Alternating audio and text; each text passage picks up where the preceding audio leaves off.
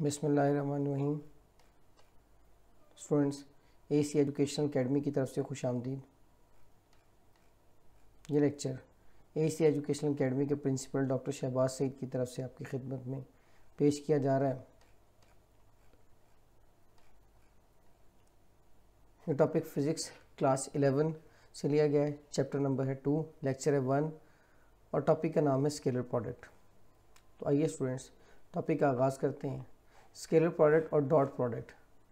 Scalar product और dot product बुनियादी तौर पे दो वेक्टरों के हासिल ज़रब के नतीजे में आने वाले रिज़ल्ट को कहते हैं, जो कि एक स्केलर की शक्ल में आता है। और डेफिनेशन इसकी इस तरह से हम कर सकते हैं। When the multiplication of two vector results into a scalar quantity यानी उन्हें मल्टीप्लिकेशन करनी है दो वेक्टर्स की, और उसके नतीजे में एक स्केलर क्वांटिटी हासिल होगी। दो वेक्टरों को हम ज़रब करेंगे और स्केलर क्वांटिटी हासिल होगी। Then this product is known as scalar product दोबारा मैं डेफिनेशन पढ़ता हूँ. When the multiplication of two vectors results into a scalar quantity, then this product is known as scalar product. अब इसकी हम एक्सप्लेनेशन की तरफ़ जाते हैं. इसकी वजाहत करते हैं. इसकी जब हम वजाहत करेंगे तो स्केलर डॉट प्रोडक्ट दो वेक्टरों के दरमियान अगर होगा The scalar dot uh, for scalar dot product, the scalar product of two vector a and b is written as a dot b.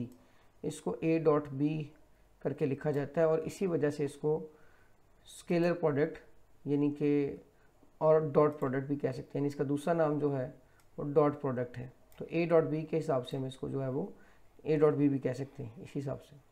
और इसकी डेफिनेशन या इसको हम फार्मूले के तौर पे A dot B is equal to A B cos theta के हवाले से ले सकते हैं। स्टूडेंट्स ये भी अब याद रखिएगा, अगर दो वेक्टर्स को हम मल्टीप्लाई करने जा रहे हैं, उनकी नेचर ऐसे है कि उनको अगर पैरेलल रखा जाए, यानी पहली चीज़ है फोर्स मिसाल के तौर पे हम लेते हैं, ये एक वेक्टर है, और दूसरा है कि किसी ऑब्जेक्ट के ऊपर ये फोर्स लग रही है, जिसके नतीजे में वो ऑब्जेक्ट कुछ डिस्टेंस डी जो है वो तय करेगा। इसका मतलब ये दोनों की नेचर ऐसे है कि अगर फोर्स और डिस्टेंस पैरेलल होगा तो ही वर्क किया जा सकता है, या मैक्सिमम वर्क किया जा सकता है। लेकिन अगर जो है वो फोर्स इस सीमत में लग रही है और डिस्टेंस हम इस सीमत में तय करना चाहते हो, इसका मतलब फोर्स और डिस्टेंस में एंगल जो है वो 90 डिग्री हो। तो ऐसी सूरत हाल में ये मिनिमम रिज़ल्ट दे, यानी काम ना कर सके। तो वो वेक्टर जो पैरेलल अगर रखे जाएँ और उनके पैरेलल होने से रिज़ल्ट जो है उनका है जिसको हम वर्क कहते हैं, वो मैक्सिमम बने, इस केस में वर्क आएँगे क्योंकि हम फोर्स और डिस्प्लेसमेंट को ले रहे हैं, वो मैक्सिमम बने। और अगर उन्हें परपेंडिकुलर किया जाए तो जो उनका जो रिज़ल्ट है, जो कि इस केस में वर्क अगेन बनेगा, वो मिनिमम हो, यानी ज़ीरो हो। तो ऐसे वेक्टर के लिए हम डॉट प्रोडक्ट लेते हैं। यानी बुनियादी तौर पर ये नहीं है कि हम किसी भी वेक्टर किसी भी दो वेक्टर्स को हम मल्टीप्लाई करें तो हमारी मर्ज़ी हम डॉट प्रोडक्ट ले लें, या क्रॉस प्रोडक्ट ले लें। लेकिन हम डॉट प्रोडक्ट लेने का क्राइटेरिया ये कि दो वेक्टर अगर आपस में पैरेलल होने पे मैक्सिमम रिज़ल्ट प्रोड्यूस करते हैं। तो ऐसे वेक्टर्स जो हैं, उनके लिए हम डॉट प्रोडक्ट लेते हैं और कॉस लगाते हैं। और इसी तरह वो अगर परपेंडिकुलर कर दिए जाएँ तो वो रिज़ल्ट प्रोड्यूस नहीं करते तो उनके लिए डॉट प्रोडक्ट लेते हैं। तो हम देखते हैं scalar dot product. The scalar dot product of two vector A and B is return as A dot B and is defined as A dot B is equal to A B cos theta. Where A and B are the magnitude of vector A and B and theta is the angle between them यहाँ वे ए और B basically vector A और B की कीमतें हैं। और theta जो है, ये जाविया है। उनके दरमियान, जो भी जाविया उनके दरमियान पाया जाएगा, वो जाविया हम लेंगे। और ये जाविया टेल टू टेल होगा, याद रखिएगा। हेड टू टेल रूल के तरीके से तो हमने वेक्टर के हेड को दूसरे के टेल से मिलाया। लेकिन जब आपने जाविया लेना है तो यहाँ पे आपने दोनों को टेल टू टेल मिलाना है। जैसे अगर आप इधर देखें तो ये जो है, पहला वेक्टर है और दूसरा वेक्टर जो है, वो उसके साथ दोनों की टेल को मिलाया गया और ये टेल के मिलाने से जाविया थीटा जो है वो वजूद में आएगा। अब इसकी अगर फ़िज़िकल एक्सप्लेनेशन करें फ़िज़िकल इंटरप्रटेशन करें, यानी हम इसको तभी तरीके से देखें, ये तो हमने फार्मूला पढ़ लिया कि A dot B is equal to A B cos theta ये हमारे पास इसका फार्मूला आ गया A dot B is equal to A B cos theta अब अगर इसकी फ़िज़िकल इंटरप्रटेशन देखें तो वो ये है कि फ़र्ज़ करें पहला वैक्टर है और ये दूसरा वेक्टर है। तो आपने ये ए है और ये दूसरा वेक्टर जो है वो बी है। तो आपने बी वेक्टर से ए पे शेडो ड्रॉप करना है। यानी उसकी जो है वो प्रोजेक्शन लेनी है। Projection of B on A B का साया लेना है ए पे। और वो इतनी जगह बनेगी, इतनी जगह। और अगर आप वैसे देखें, अगर वेक्टर बी को हम दो टुकड़ों में डिवाइड करें तो ये बुनियादी तौर पे बी एक्स भी बन सकता है। सादा लफ्ज़ों में ये बी का वो हिस्सा है जो ए की डायरेक्शन में है। यानी हमने दूसरे वेक्टर का वो हिस्सा लेना है जो पहले वेक्टर की सीमत में हो। और इसी को यहाँ डायग्राम में अगर आप देखें तो ये दिखाया गया है कि ये फ़र्स्ट वेक्टर है और सेकंड वेक्टर से हमने एक शेडो ड्रॉप किया है, एक प्रोजेक्शन ड्रॉप किया वेक्टर ए पे। और अगर हम उसे हेड टू टेबल के मुताबिक देखें तो यही हिस्सा जो है वो बी एक्स बन जाएगा और ये हिस्सा जो है वो बी वाई बन जाएगा। लेकिन हम बी वाई को नहीं ले सकते, क्योंकि हमने वो लेना है जो कि पैरेलल है पहले एक्सेस के, पहले वेक्टर के। लिहाजा हम सिर्फ़ ये वाला हिस्सा यहाँ तक जो है वो लेंगे, यानी पहला वेक्टर मुकम्मल होगा और दूसरा वेक्टर का सिर्फ़ ये हिस्सा जो कि बी एक्स है। और बी एक्स आपको पता है कि बी कॉस थीटा के तौर पर भी लिया जा सकता है। तो इसी को हम ऐसे भी कह सकते हैं A dot B is equal to A projection of B on है प्रोजेक्शन का मतलब बी का साया ए पे। और ये बुनियादी तौर पे वो हिस्सा बी का बनेगा जो ए की सीमत में होगा और ये बी एक्स भी बनेगा अगर आप हेड जो राइट एंगल ट्राइंगल के हिसाब से इसको देखें।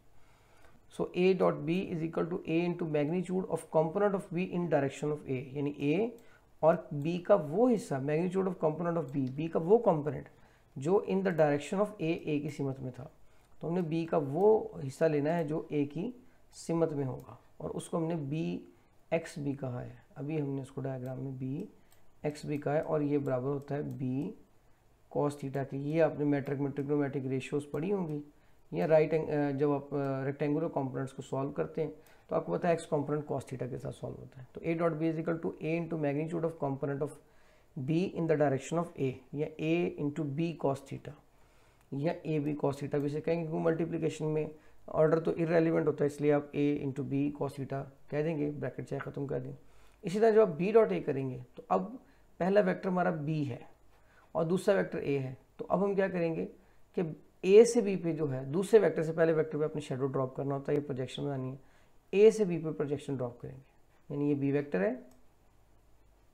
ये पहला वेक्टर है हमारा, क्योंकि बी डॉट ए करने लगे। दूसरा वेक्टर है ए तो ए से हम इस वेक्टर पे, इस वेक्टर पे 90 डिग्री पे एक लाइन जो वो खींचेंगे। ठीक है जी? डॉटेड लाइन खींचेगा बेसिकली क्योंकि ये हमने प्रोजेक्शन बनानी है, ये ओरिजिनल लाइन तो नहीं है। तो ये बेसिकली ऐसे एक डॉटेड लाइन यहाँ तक चली जाएगी। अब ये जो हिस्सा है, अगर हम इसे गौर से देखें तो ये बनेगा ए एक्स ए का एक्स हिस्सा। और दूसरा हिस्सा जो है, दूसरा हिस्सा जो है, वो ए वाई बनेगा। अगेन हम ए वाई को नहीं लेंगे। हम ए एक्स को लेंगे क्योंकि ये वो हिस्सा है वेक्टर ए का जो बी की सीमत में यानी बी भी इधर कोई है और ए एक्स भी जो है वो बुनियादी तौर पे इसी सीमत में है, इसलिए हम वेक्टर ए का एक्स हिस्सा जो है वो लेंगे। तो B dot A is equal to B A cos theta या is equal to B A cos theta यहाँ पे भी लिखा हुआ बी ए कॉस थीटा तो we come across this type of product when we consider the work done by a force F whose point of application moves the distance D यानी हम एक work जो है वो कैलकुलेट करते हैं, एक फोर्स एफ़ की वजह से। फोर्स एफ़ है, उससे वर्क हमने कैलकुलेट करना है। कब कैलकुलेट करना है? जब उस फोर्स के लगने की वजह से वो जिसम जो है वो डी फासला तय करे। तो वही come across this type of product when we consider the work done by a force F whose point of application moves a distance D in direction making an angle theta वो theta जाविया बनाएगा with the line of action of force F की line of action से theta जाविया बनाएगा। So work done is equal to effective component of force in the direction of motion यानी हमने force का वो हिस्सा लेना है जो हरकत की सीमत में होगा। इनटू डिस्टेंस मूव या F cos theta into D या एफ़ डी कॉस थीटा भी कह सकते हैं। या वेक्टर नोटेशन में वेक्टर के हिसाब से देखें तो F dot D is equal to F D cos theta है।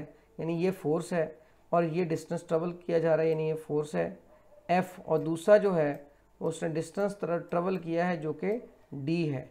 तो आपने फोर्स से जो है वो एक लाइन ड्रॉप करनी है जो कि डी पे जाएगी और ये बुनियादी तौर पे फोर्स का एक्स कंपोनेंट होगा या इसको हम एफ़ कॉस थीटा भी कह सकते हैं। इसका मतलब हमने एफ़ कॉस थीटा वाले हिस्से को लेना है और उसको हमने ड्रॉप उसको मल्टीप्लाई करना है किसके साथ? डी के साथ। यानी जब हम इसको एफ़ डॉट डी करेंगे तो एक तो हम पहला वेक्टर एफ़ लेंगे, वो तो वैसे का वैसे ही आ जाएगा और दूसरा वेक्टर जो है वो हम पहला वेक्टर तो एफ़ आएगा और एफ़ के ही हमने दो टुकड़े किए हैं। दूसरे पे ड्रॉप करेंगे उसको तो एफ़ कॉस थीटा ये आ जाएगा इंटू डी या इसको इकट्ठा करके एफ़ डी कॉस थीटा जो है वो हम कह सकते हैं। तो इस तरीके से हम वर्क कैलकुलेट करेंगे और इस मिसाल को भी अगर हम देखें तो इसमें जब दोनों वेक्टर्स पैरेलल डायरेक्शन में आ जाते हैं तो मैक्सिमम रिज़ल्ट प्रोड्यूस होता है, यानी मैक्सिमम वर्क किया जाता है और जब ये परपेंडिकुलर डायरेक्शन में आते हैं तो मिनिमम रिज़ल्ट के मिनिमम जो है वो वर्क पैदा होता है। लिहाजा ऐसे वेक्टर्स जो पैरेलल होने पे मैक्सिमम रिज़ल्ट दें उनके लिए हम डॉट प्रोडक्ट या जो है वो स्केलर प्रोडक्ट यूज़ करते हैं और जो परपेंडिकुलर होने पर मैक्सिमम रिज़ल्ट प्रोड्यूस करें, उनके लिए जो है वो हम क्रॉस प्रोडक्ट या वेक्टर प्रोडक्ट इस्तेमाल करते हैं। मैं उम्मीद करता हूँ स्टूडेंट, ये लेक्चर आपके लिए मददगार साबित होगा और अगर ये लेक्चर आपके लिए मददगार साबित हो तो उसको लाइक कीजिए, इस वीडियो को लाइक कीजिए और इसको शेयर कीजिए, चैनल को सब्सक्राइब कीजिए और बेल आइकन पर क्लिक कीजिए, ताकि मज़ीद आने वाली ऐसी बहुत सी इन्फॉर्मेटिव वीडियोज़ बहुत से लेक्चर्स आप तक आसानी से पहुँच सकें। ताकि आपके लिए आसानी हो सके और हमारे लिए भी आसानी हो सके। असलकम अल्लाह हाफिज़।